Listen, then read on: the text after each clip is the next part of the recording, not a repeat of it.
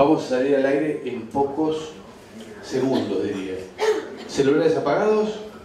¿Todo listo? ¿Listo? Todo listo. Muy bien, salimos al aire en 5, 4, 3, 2, 1. Espacio Resurgimiento presenta Voces del barrio. el programa radial homenaje a las distinguidas personalidades que han transitado las calles de nuestro barrio. Ya hemos tenido un contacto arrabalero en programas anteriores con los maestros Osvaldo Fresedo, el pibe de la paternal, y Mariano Mores, vecino de la calle Terrada. Y en el día de hoy tendremos el honor de conectarnos con el gran don Julio Cortázar, transmitiendo directamente desde la biblioteca Los Siete Locos del Centro Cultural Resurgimiento, FM 90.7 MHz. Un gran saludo a todos los oyentes y uno especial a quienes nos acompañan en este estudio gigante de la biblioteca Los Siete Locos. Hablando de esta biblioteca, ¿tú sabés que hay más de 5.000 volúmenes que podés acercarte a consultar? Además de un gran número de corresponsales, fotógrafos, poetas y muchos participantes más. Todo lo que querés lo tenés en todo. Autoservicio Todo, Ricardo Gutiérrez y Empedrado. ¿Con qué pintas, Albertito? ¿Con pinturas? Pajarito. sobre esos jardines. Y entonces ese era, era mi reino, eso ha vuelto así, ha sido evocado porque yo lo siento muy, muy presente y muy vivo. Y entonces eh, actualmente, bueno, tú sabes muy bien que yo trato de darme lo más que puedo cuando pienso que el hecho de darme eh, no, no es totalmente inútil, que puede en algún plano tener algún sentido.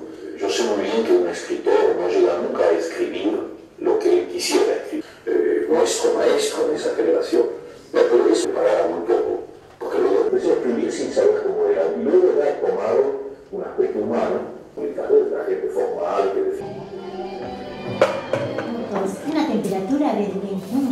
5 décimas. Continuamos transmitiendo directamente desde la biblioteca Los Siete Locos del Centro Cultural Resurgimiento. Y hablando de la ternura, ¿sabés lo que escuché el otro día en un bar? Pero es lo que yo te digo, lo que yo te digo, que lo que más me impresionó de Julio fue esa sencillez y cultura, viste que no se encuentra en el mercado, ¿te das cuenta? Que no existe la fórmula de protocolo de cómo hacerse sencillo, cómo hacerse modesto. No, Julio era así. Sí, era así. Pero ahora hay algo que no estoy de acuerdo. Querían que Julio es tan diáfano y tan tierno como un niño.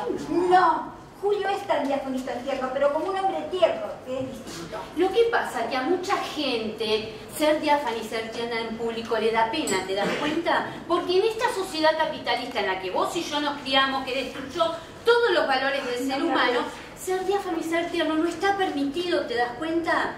El hombre capita- en el capitalismo no puede andar desnudo. Mira, el hombre capitalista, ya sea el burgués, el, el operario, el contador público, andan con máscara, con coraza, con laza, con espada. Eso es lo que ocurre. Eso es lo que nos hace esta, esta sociedad que nos destruyó y nos quitó los valores, así como nos destruyó y nos quitó la ternura. Por eso parece que el hombre no tuviese ternura. Entonces, ¿qué hace? Le da el patrimonio a los niños. Que no sé si es por pena o por mala intención. Ah, no, no. Y que te diga, para mí el hombre tiene poca capacidad de ternura. Ahora el hombre capitalista le arrancaron la ternura. Y eso demuestra que el hombre nunca se va a atrever a decir que es tierno. Y te hablo del hombre como te podría hablar de la mujer, del niño, de cualquier ser humano.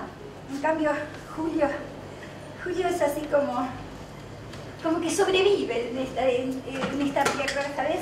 Como que ni, ni la competencia, ni la dictadura, ni las drogas, ni nada, ni nada le puede quitar la ternura. Es que lo que pasa es que Julio, desentona no solamente por su altura, por su gran barba, por el pelo en la punta de su cabeza. Julio desentona por su ternura. ¿Te das cuenta? Porque le quiere remitir la ternura de Julio a los niños.